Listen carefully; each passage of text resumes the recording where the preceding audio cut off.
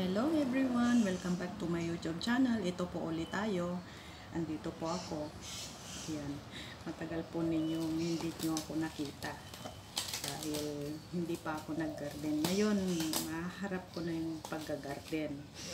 Dahil natapos na din yung aking nilalakad na papers. Uh, eto, garden ulit tayo. At saka, i-share ko lang sa inyo itong tanim kong lettuce. Na ano, try lang magtanim ng lettuce na ang gamit din lang naman ay yung mismong lettuce na ano, tanim. Hindi kami guma hindi ako gumamit ng ng buto ng lettuce kundi yung lettuce talaga yung mga maliliit na lettuce pahaba yun ang itatanim natin. Ito po siya. Nandito. Ayan. Ayan. Wala pa po siyang ugat eh. kahapon kinat na kinat ko ayan po siya. Kasi pwede pala itong itanim. Magkakaugat yan. Pero wala pang ugat dahil kakababad lang sa tubig kahapon. Ka kahapon binabat ko na to. Kasi kahapon may pinuntahan pa ako. So hindi pa ako hindi ko na video dahil may nilakad pa ito ngayon papakita ko sa inyo yung tanim kong lettuce. Baka sakaling mabuhay magkaroon ng ugat. Ayan siya. May ah, may walo ako ditong lettuce. Ayan. na ano tanim. Binabad lang naman sa tubig. Kasi try lang naman kung mabuhay nga ba. Kasi yung yung celery nabuhay siya. Pero namatay din eh. Lumaki din siya ng ganyan. Nagkaroon din siya ng ng ano ng talbos ng dahon ng celery pero hanggang ganyan lang tapos namatay din. Kaya wala din. Tapos ito try ko magtanim ng lettuce. Kaya ito siya. Ibinabat ko sa tubig. Yan. ito siya.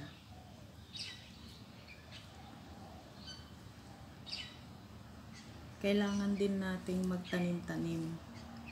Kung wala tayong mapagtaniman gumawa tayo ng eto, kagaya nito nilagay ko lang to sa planggana. Kasi dapat nakababad sa tubig. Ayan siya.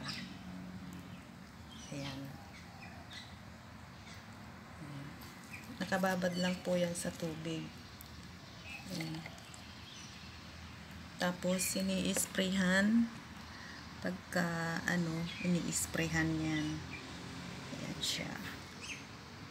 Mm. Mahilig akong kumain ng lettuce. Ayan ewan ko ba nagkahiligan kong kumain ng fresh na lettuce. Ayan masarap. Sino bang hindi kumakain ng lettuce sa atin? Ayan masarap siyang kainin palagi akong nabili. Tapos kakainin na lang. Tapos lalagyan ng ano haluan ng kamatis. Tapos may pipino. And din lagyan ng ng mayonnaise. Ayan. Masarap na. Masarap na yung kain ko. Ganun lang. Tapos minsan naglalagay ako ng itlog. Yung nilagang itlog yun minsan ipapakita ko kung paano kung paano kain, kumain, kung paano ako kumain ng ng lettuce, kamatis, pipino, tsaka itlog. At tsaka nilalagyan ko ng dressing na mayonnaise. Yun ang kinakain ko. Yan. Nasasarapan ako sa ganong pagkain.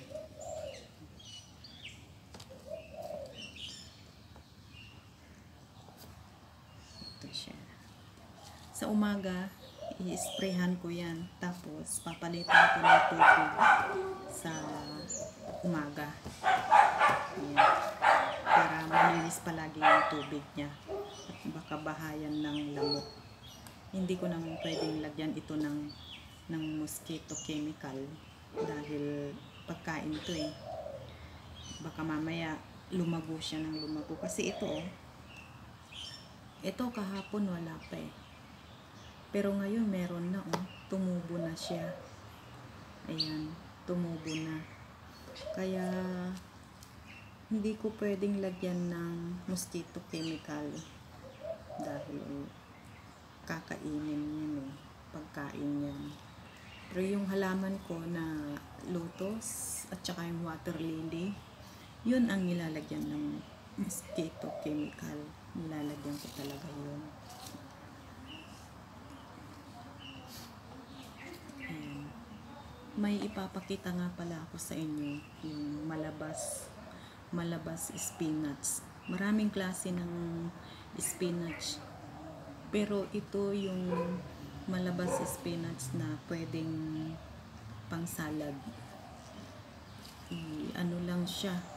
Magpakulo lang ng kunting tubig tapos ilagay yung yung dahon ng malabas and then hanguin ka agad and then pwede na siyang kainin na ganun. Lagyan mo ng ng kung anong gusto mong ilagay. Asin, kamatis, haluan mo ng asin at kamatis, ganun lang. Yan. Kaya kung ako, mabubuhay ako na kahit na walang karne-karne dyan, karne ng, ng manok, karne ng baboy, or what, or ano pa, makubuhay. Basta may gulay, nakakapagtanim ako, mabubuhay na ako. Tingnan natin yung tanim kong malabas. Ito may tanim pala ako ditong orchids. Kasi ito yung maliit kong office. Small office kumbaga. Kung andito ako sa bahay, ito yung small office ko. Yan. Ito siya. may isa akong orchids. Ayan. Isa kong orchids. Ayan. Ito po yung small na office ko. Ayan.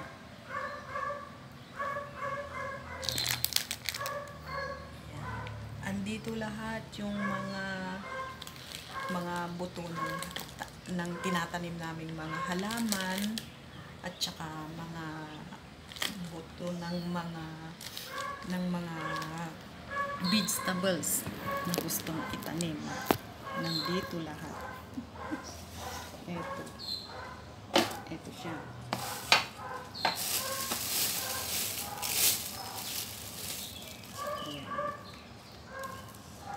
May talong ako dito.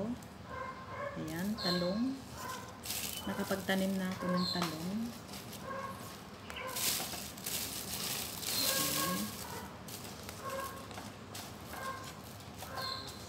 Ayan. Tapos ito, pichay. Pero hindi pa ako nagtanim ng pichay. Tapos ito, may Chinese spinach din. Ayan. Tapos ito, may patula. Ayan. Hindi ko alam kung saan na itatanim eh. Ayan yung patula. Puro mga buto ito. Binibili ko sa mall. Tapos ito yung snake cord. Ayan, snake cord. Na parang ampalaya sa atin nga sabi nila ampalaya. Ayan. Pero hindi ko pa na-try itanim. Tapos ito yung kamatis. Ayan, kamatis. May tanim akong kamatis. May, tanim, may tanim ako kaya lang hindi pa namumunga. Tapos, ito, Harigort. Yung opo yata, ito sa atin eh. Ayan. So, napakarami kong mga buto-buto dito. Tapos, ito yung pipino. Ayan. So, ang dami kong mga ano dito. Tapos, itong talong, ayan, may may malalaki siya. Yung mataba na talong. At tapos, ito yung payat na talong. Ayan. Tapos, ito naman yung okra. Ayan, may tanim akong okra, kaya lang, andun, maliit pa. Ayan. Ito naman yung buto ng lechos. Ayan, buto ng lechos. Pero hindi ko pa tinatanim. Kasi nakita ko na pwedeng itanim yung lechos na ito. So, try ko muna ito. Kasi bumili ako nung kailan ba yung bumili ako nung pumunta ako ng ano, bumili ako nito, lettuce na to. So, ito muna yung tinanim ko. Pero itong buto niya, itong seeds ng lettuce, saka ko na to itatanim. Ang dami ko pong mga ano dito, mga seeds. Pag uwi ko, magdadala ako. Yan.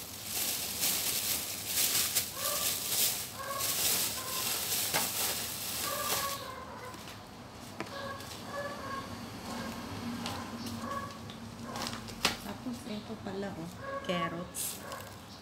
Ayan.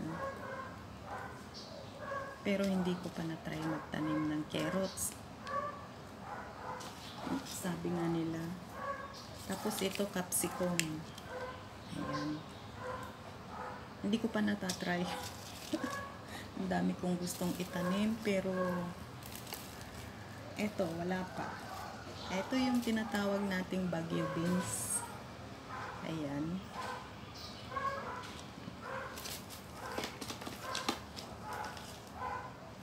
Iba-ibang klaseng tomato. Ayan po siya. Ayan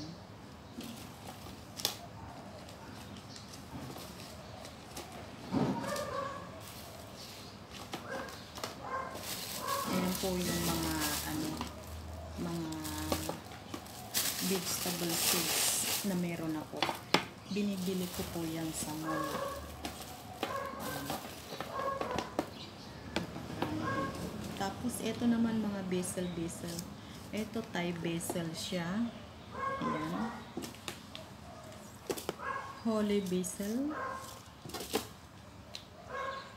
Lemonade basil. Ayan. Sino nagamit sa atin ng mga yan sa pagkain? Then, meron ako ditong long beans. Ayan. Tinanim na namin to. Tinanim ko na. Kaya lang hindi nag-successful kasi namatay eh. Iwan ko kung bakit. Ayan. Siguro nagtampo kasi kinat ng alaga ko yung ano yung dahon niya. Kaya ayan. Nagtampo siguro.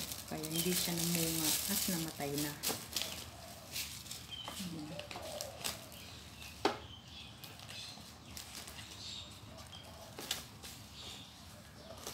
Mga flowers na mga iba.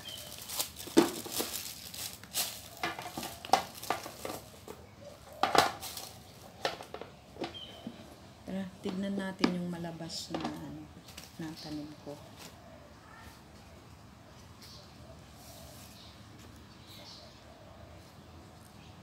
Tapos ito, lagay natin doon para tignan natin.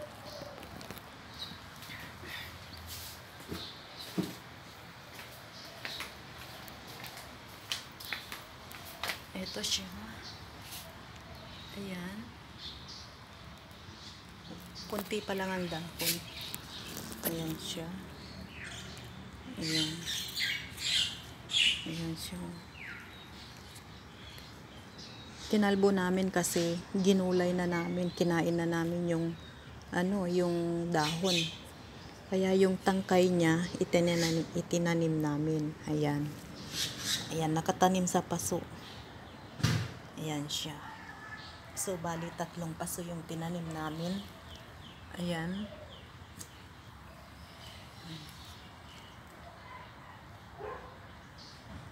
So, pag mag-harvest tayo, marami. Maraming ma-harvest.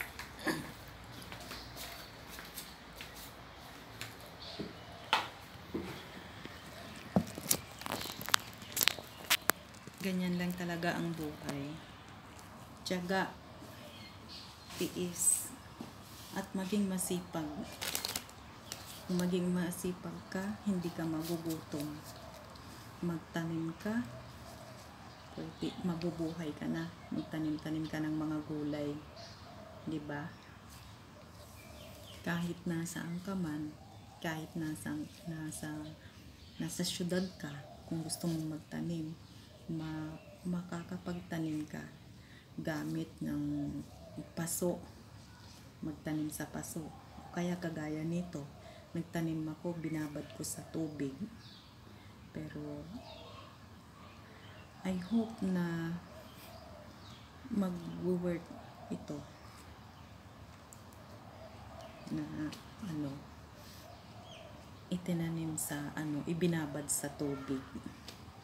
Ayan. sana nga maging mag ano siya successful. Kasi minsan pag nagtatanim ako pagka ano hindi siya nabubuhay namamatay siya nakakasama din ng loob. Pero anong magagawa kung hindi nga naman ano mabubuhay di ba? Yan. Mukhang pagod ba yung mata ko? Pagod na pagod. Matagal na hindi nakapag garden dahil palagi sa labas. Tapos ang binibidyo na lang eh yung pinupuntahan. Mabuti na lang natapos din. Pero ewan ko lang kung next next week eh, this coming week mm, hindi ko alam kung saan na naman yung lakad ko. Ayan. Maraming maraming salamat sa mga nanonood video. At sa lahat pala ng hindi pa nag-subscribe paki-subscribe, like and share. Ayan. And please press the button bell para update kayo sa susunod na aking mga video. Ayan. Maraming maraming salamat po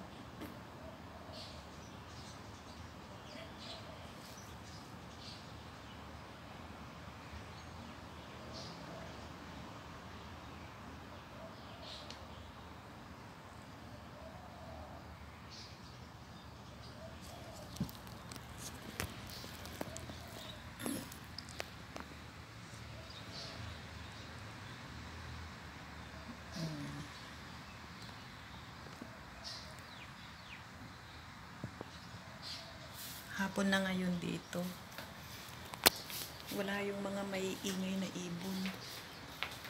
Dati ang iingay nila. Ngayon wala sila. Tignan nyo tong malunggay ko. Ayan. Nakatanim lang din sa paso. Ayan siya tapos ayan ayan see Ayan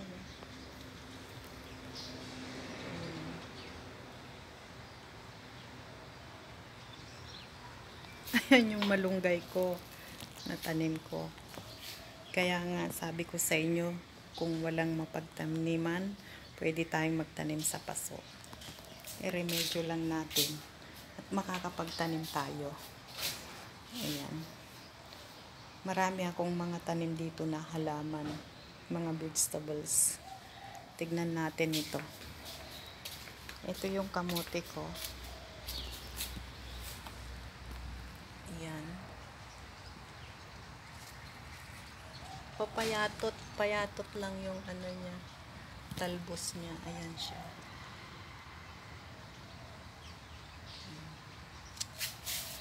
Tapos yung okra ko. Maliliit nga lang. Tapos ito yung talong ko. Ayan. Yung aking talong. Ayan. Nakatanim sila sa paso. Ayan. Lahat yan nakatanim sa paso. Tapos may kangkong din ako. Ito yung aking kangkong. Ayan. Kita ba? Ayan. Andito lang yan sa harap ng bahay, nakatanim. Ayan. Tapos may isa akong sili dito. Ito. Ang pangit ng sili ko. pangit ng sili ko. Ayan po yung mga tanim ko na gulay.